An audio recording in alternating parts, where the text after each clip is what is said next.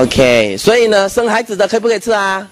孕妇最重要啊，孕妇的血红蛋白啊、免疫啊、抗体啊，包括你们的这个胎盘素里面的这个羊水啊，还有一个啊，我介绍很有效的，你有没有听过孕妇怀孕的时候血糖很高的？我跟你说，就用蛋白粉给她，搞定了。听到没有？因为那个胎盘素所产生的这个黄体素就会影响到胰岛素的分泌，或者是破坏它的胰岛素。蛋白质有几个都是这样，在怀孕的时候没有吃药、没有打针，好生完过后变正常。听到没有？还有一个也是要上翡翠的李的，他的太太怀了五个月，医生抽样一看，哇，你的羊水不够哦，怕你的宝 baby 在肚子里面缺氧，然后呢，怕他生出来是有缺陷哦，你要有心理准备，分分钟要把这个 baby 拿出来，五个月拿出来，你讲伤不伤啊？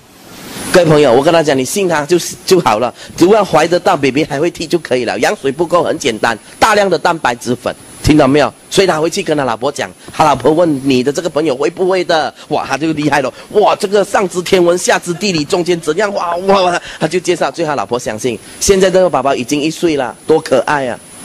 各位朋友，你相不相信？这都是真正的事实。各位朋友，蛋白质吃不吃？吃。